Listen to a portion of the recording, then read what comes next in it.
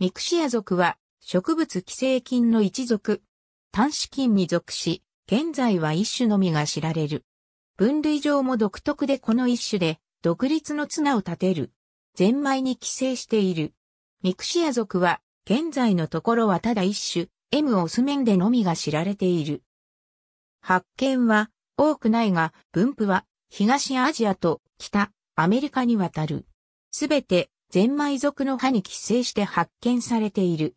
多角の菌糸体を宿主細胞中に発達させ、円柱形の胞子形成細胞を宿主表面に出し、その表面に胞子を作る。本種は、その研究士も錯綜している。当初その構造がタフリナに似ているものと把握され、最初はこの属の新種として記載された。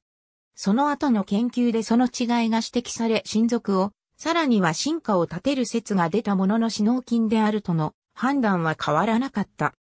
しかし、分子系統の研究で単子菌類に類縁があることが発見され、その形態なども見直しが行われ、現在では単子菌類中に独立綱を立てる扱いがなされている。知られている種は蒸気のように一種のみなので、それに即して記す。植物寄生菌であり、宿主植物はシダ植物のゼンマイ属のものだけである。本種が感染すると、シダの葉には黄色から褐色の小さな病変部ができる。その部分には胞子による白い粉の層が生じる。菌体は宿主細胞壁の内部で発達し、当初はまばらに核壁を持つ菌糸となるが、後に多角体となり、その内部には小さな核を多数含む。胞子形成はまず宿主の表皮の細胞壁のもとに膨大した細胞を生じ、そこから脳状の胞子形成細胞が出て、その表面に多数の胞子を同時に外生する。この胞子は単一の核のみを含む。胞子形成細胞は棒状から洋梨状の形で長さ24から60マイクロメートル、幅9から25マイクロメートル程度、質が的に形成される胞子は多数あって楕円型で長さ3から4.5マイクロメートル、幅1.5から2.5マイクロメートルで無色。胞子を取り出しての培養は可能で、通常の培地上で成長する。西田エトールでは、コーンミール寒天培地に、麦芽抽出物、酵母エキスなどを加えた培地で単胞子培養に成功している。それによると、摂氏20度で10日間培養した頃にはその直径が 15mm ほど、やや粘液質に見えて、白からクリーム色であった。これは2週間後にはややピンク色を帯びたクリーム色に変わった。菌は出芽によって増殖する、つまり酵母状の姿をとる。なお、寄生菌でありながら植物体上に形成される胞子が培地上で培養可能であり、それが酵母の形態をとる点はタフリナにも見られるものである。発見の記録はごく少ない。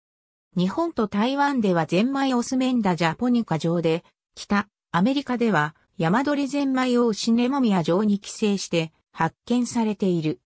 蒸気のように宿主上で細胞内部で成長し、胞子形成細胞を表面に出して単角の胞子を作ることが分かっているが、それ以外の部分は不明である。またこの胞子が単層か複層か、単層であれば体細胞分裂によるものか、原数分裂によるものか、といった部分は解明されていない。また、胞子の発芽や宿主への感染に関しても観察例がない。透明トールはこれらをゲノムの解析によって検討し、培養下の酵母状の菌体は単層であり、胞子の形成は無償的に行われるとの判断を示している。本属の胞子形成部の構造とその胞子の形成過程は、菌類中で他に類似したものがない。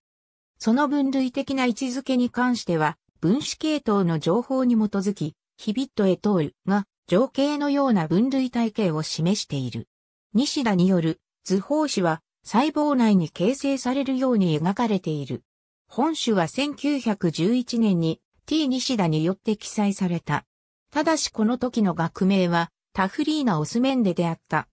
これは胞子形成細胞と胞子の位置が見誤られ、脳状の胞子形成細胞の内側に、つまり内生的に胞子が形成されていると判断されたためである。つまり、胞子形成細胞を死脳であるとみなし、同様に植物寄生性で宿主表面に死脳を並べて形成するタフリナ属のものと判断したものである。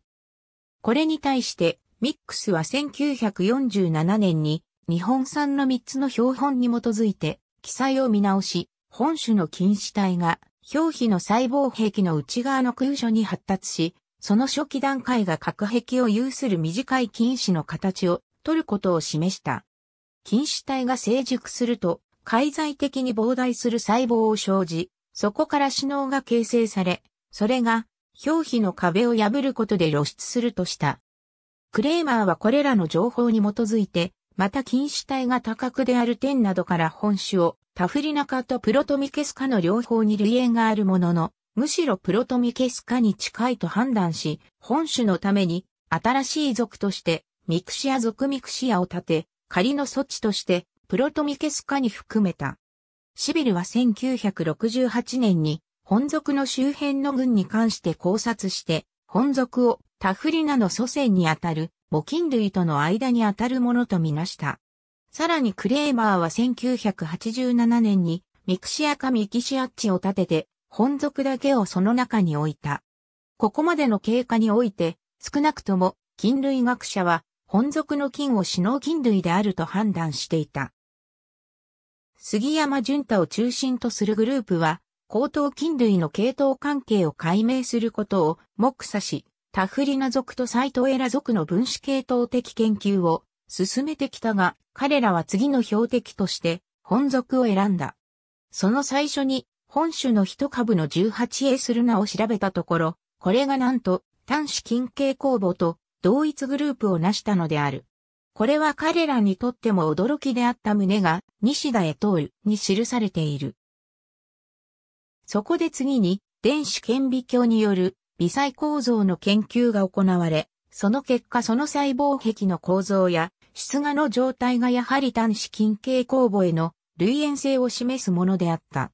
彼らは、ひとまずこれが本種の培養株でなく何かの形で端子近景酵母に入れ替わったという可能性を考えたという。しかし彼らは1993年に本種の新しい標本を手に入れ、そこから新たな培養株を確立した。それらを調べた結果が、微細構造においても遺伝子情報においてもこの菌が、端子菌、特にサビ菌類に類縁があって、死脳菌、タフリナ類などとは縁が遠いことを示した。そこから形態的特徴も見直された結果、実は胞子形成が内生的とされていたのが勘違いであり、胞子形成細胞の表面に質が的に形成されることが明らかになった。これによって本属の分類的な位置が大きく見直されることになった。以下、主として透明通る P554 西田へ通る S664、西田へ通る S664、東名通る P554、東名通るハット、東名通る P554 以下、主として西田へ通る S661 以下、西田へ通る S662 から663。ありがとうございます。